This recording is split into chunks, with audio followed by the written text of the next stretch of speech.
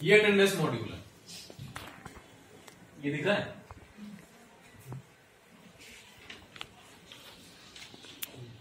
क्या है मनीष?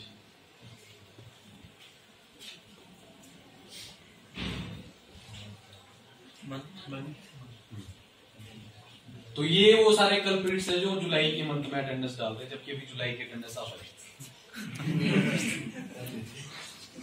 मैं वो दिखा रहा हूँ। ठीक है?